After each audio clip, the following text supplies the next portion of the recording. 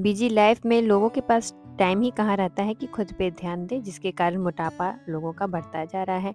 लेकिन जो मैं आज होम रेमेडी लेके आई हूँ रेसिपी लेके आई हूँ, आप उसे एक बार बनाइएगा तो सालों भर खाइएगा और उससे आपका मोटापा भी कमेगा। हेलो फ्रेंड आई होप आप सब अच्छे होंगे और मैं भी अच्छी हूँ। और ये देखिए, ये मैंने घर पे बनाया होम रेमेडी जिसे बच्चे, बूढ़े, जवान हर उम्र के लोग बहुत ही अच्छे से खाएँगे और खाने में ये बहुत टेस्टी और बनाना भी आसान है और इसे साल भर आप इसे स्टोर करके रख सकते हैं, ये ख़राब नहीं होगा। तो इसे किस तरह से बनाना है ये जानना ज़रूरी है ताकि इसे ज़्यादा दिन तक स्टोर करके रख सकें। तो यहाँ मैंने लिया है आंवला।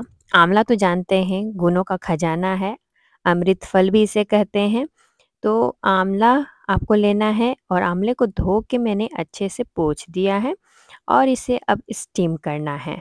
इसे डायरेक्ट पानी में डाल के उबालना नहीं है, इसे स्टीम कर देना है। देखिए जिस तरह से मैंने इसे राइस कुकर में लेके स्टीम किया है उसमें डाल के। आप चाहें तो किसी पतीले में पानी डाल के उस पर छलनी रख के आप इसे कर स्टीम कर सकते हैं। इसे डायरेक्ट पानी में नहीं डालिएगा। कि अगर आपको ज़्यादा दिन तक इसे स्टोर करके रखना है, इसे डायरेक्ट पानी में मत डालिएगा और इस तरह से स्टीम कर दीजिएगा। और ये देखिए, मैंने इसे ढक के अब डाल दिया इसे स्टीम करने। तो ये ज़्यादा देर नहीं लगता है इसे पकने में, ये पंद्रह बीस मिनट में ही अच्छे से पक जाता है। आप ये छू के देख लीजिएगा, ये पका है कि नहीं? अगर नहीं पका है तो कुछ देर और डाल रहने दीजिएगा, अगर पक जाएगा तो इसे निकाल लीजिएगा। तो ये बहुत ही अच्छी होम रेमेडी है। आप घर पे एक बार ठंड में तो जानते हैं आंवला कितना मिलता है और बहुत ही अच्छा अच्छा मिलता है तो आप इसे एक बार बना के रख लीजिए और इसे साल भर आप रख सकते हैं ख़राब नहीं होता है। पर इसमें यही ध्यान रखना है कि इसमें पानी ज़रा भी ना डालें और इसे किस तरह से बिना पानी के आपको पकाना है तो आप देखते रहिएगा, मैं बताऊँगी। और आंवला तो इतना अच्छा होता है, हमारे पाचन तंत्र को भी बहुत अच्छा लग अच्छा कर देता है और जिससे हमारे खाना, ये खाना डाइजेस्ट होता है और खाना डाइजेस्ट अगर होता है तो अब मोटापा खुद ब खुद कम होने लगता है। इसलिए आप इसे, इस रेमेडी को आप अपने खाने में सुबह, शाम, दोपहर जब भी आप खाना खाते हैं तो इसे अपने खाने में शामिल करिए, जिससे आपका ना खाना बहुत अच्छे से डाइजेस्ट हो जाएगा। और आपका वेट भी कमेगा। और एक फ़ॉर्मूला आजकल बहुत चलन में है बत्तीस का फ़ॉर्मूला तो उसे भी अपनाइए। आजकल बहुत लोग सारे लोगों के मैं मैंने सुना है कि बत्तीस का फ़ॉर्मूला अपना के उन्होंने अपना वेट कम किया है। तो नेक्स्ट वीक किसी वीडियो में आपको ये फ़ॉर्मूला भी बताऊँगी बत्तीस का फ़ॉर्मूला जिससे आप अपना वेट कम कर सकते हैं। आ, ये देखिए। यहाँ मैंने अब वो जो आंवला था वो पक चुका था तो उसे मैंने मैश मैश करके अब इसे मैं इसमें मैं डाल रही हूँ। कढ़ाई में मैंने थोड़ा-सा ऑयल डाला है। आप जो भी ऑयल खाते हैं वो आप डाल दीजिए। और यहाँ मैं डाल रही हूँ अजवाइन, मंगरेला, सौंफ, जीरा ये सब मैं फ़ौरन में डाल रही हूँ यानी तड़के में। तो अजवाइन तो और ये मंगरेला जिस मंगरेला और अजवाइन।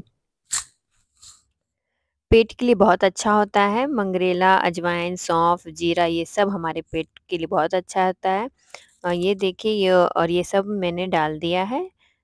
सारे आंवले को मैंने मैश करके इसमें डाल दिया और इसे थोड़ा थोड़ा भुनना है। धीमी आँच में भूनिए थोड़ा ताकि ये नीचे बैठे ना। कि इसमें थोड़ा भी हमें पानी नहीं डालना है बस इसी तरह से पकाना है और यहाँ मैंने थोड़ा-सा डाला है, थोड़ा से जब ये भुन जाए तो इसमें डाल दीजिए धनिया पाउडर और जीरा पाउडर, दोनों का पाउडर मैंने इसमें डाल दिया है।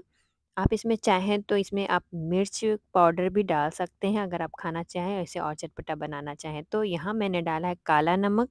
काला नमक भी हमारे पेट के लिए बहुत अच्छा होता है और ये डाइजेशन के लिए बहुत अच्छा है तो आप इसमें काला नमक ऐड करें। और ये सब डाल के इसे भून लेना है। और यहाँ मैं डाल रही हूँ गुड़। आप गुड़ की जगह चीनी भी डाल सकते हैं पर यहाँ मैं गुड़ डाल रही हूँ। गुड़ हमारी सेहत के लिए ज़्यादा अच्छा होता है और ठंड में ये तो और भी अच्छा होता है। इसमें भी गुड़ में भी काफ़ी आयरन होता है आंवला में भी आयरन होता है जो हमारे आँखों के लिए बहुत ज़रूरी है आंवला। बच्चों को खिलाइए आजकल बच्चों के आँखें बहुत जल्दी कमज़ोर होने लगे हैं।